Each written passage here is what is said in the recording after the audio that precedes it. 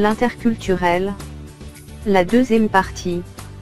Dans la partie précédente de ce module, on a parlé sur l'interculturel et quelques éléments de cadrage, puis on a arrêté dans la définition de la notion d'interculturel. Aujourd'hui on va discuter sur l'identité culturelle.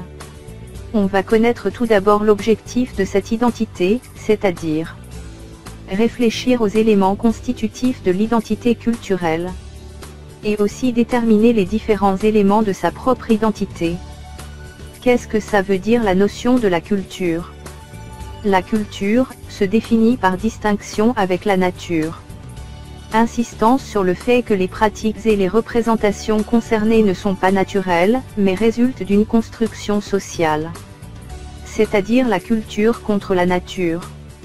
Mais par rapport à la définition extensive des anthropologues, la culture, dans son sens le plus large est considérée comme l'ensemble des traits distinctifs, spirituels et matériels, intellectuels et affectifs, qui caractérisent une société ou un groupe social. Elle englobe, outre les arts et les lettres, les modes de vie, les droits fondamentaux de l'être humain, les systèmes de valeurs, les traditions et les croyances. La culture, ce tout complexe qui comprend la connaissance, les croyances, les, la morale, le droit, les coutumes et les autres capacités ou habitudes acquises par l'homme autant que membre de la société, écrite par Edward Tyler, en 1871. Qu'est-ce que ça veut dire la civilisation? Le mot civilisation est formé à partir du verbe civiliser, dérivé du latin civi, citoyen habitant d'une cité. Le Dictionnaire universel de Furetière, 1960, définit ainsi l'adjectif poli, signifie civilisé. Civiliser, polir les mœurs, rendre civil et social, il n'y a rien de plus propre à civiliser et à polir un jeune homme que la conversation des hommes. Le dictionnaire de Litre définit ainsi le mot civilisation, l'ensemble des caractères appartenant à une certaine société, groupe sur un certain territoire, à un certain moment de son histoire. Le dictionnaire Larousse définit le mot civilisation comme l'ensemble des caractères propres à la vie intellectuelle, artistique, morale et matérielle d'un pays ou d'une société. L'historien allemand Wilhelm Mommsen écrit en 1951, Il est aujourd'hui du devoir de l'homme que la civilisation ne détruise pas la culture, ni la technique l'être humain. Civilisé, doté d'une civilisation avancée. Pays civilisé. Synonyme. Policé. Antonyme. Barbare, sauvage civiliser, améliorer l'état intellectuel, moral, matériel, d'un pays, d'un peuple. Rendre civil, social. Quelques informations à retenir.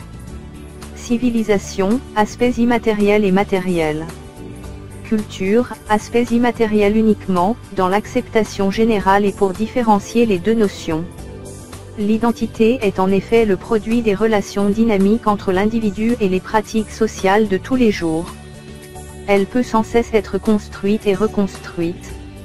Une identité peut prendre plusieurs aspects tout polysémiques. Elle est donc forcément complexe. Elle ne se limite pas à une seule appartenance. Elle est une somme d'appartenances plus ou moins importantes, mais toutes signifiantes, qui font la richesse et la valeur propre de chacun, rendant ainsi tout l'être humain irremplaçable, singulier. Notre identité est-elle définitivement fixée?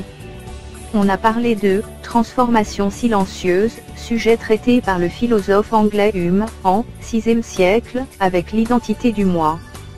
L'humain, nous dit-il, pense qu'il traverse toute sa vie avec identité, alors que nous ne sommes, nous, que par instant, par période, des périodes de notre vie.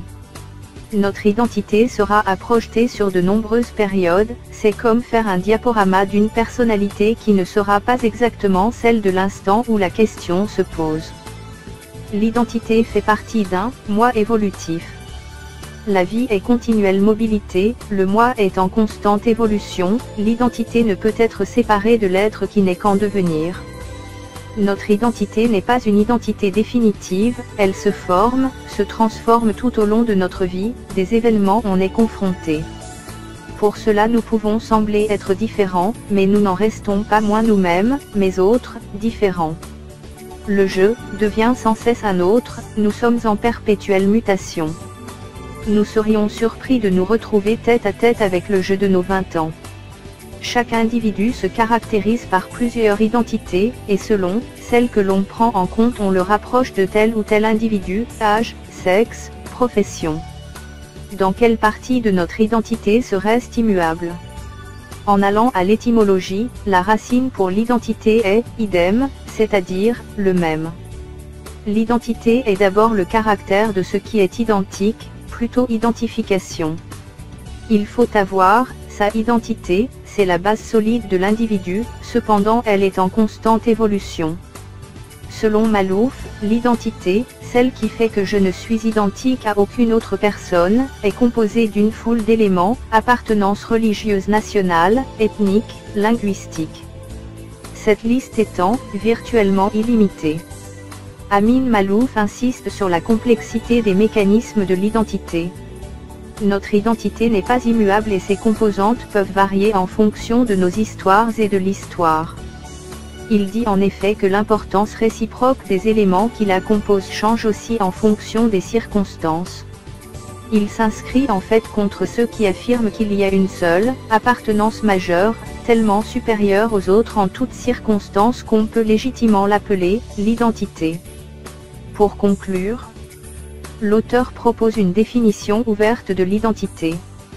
À travers la thèse des appartenances multiples, Amin Malouf défend l'idée que nul ne peut ni ne doit se réduire à une appartenance unique, communautaire, communautarisme, d'une ouverture sur les autres, enfin quand cette réflexion s'inscrit dans le contexte de la mondialisation et de ses effets sur les hommes, sur leur histoire, leur culture. C'est la fin de ce cours. Merci d'avoir suivi, et j'espère que ce cours va être utile pour vous. N'hésitez pas à faire abonner pour avoir les autres cours. Ce cours réalisé par Mostafa Mosto pour les études françaises. Au revoir à la prochaine vidéo.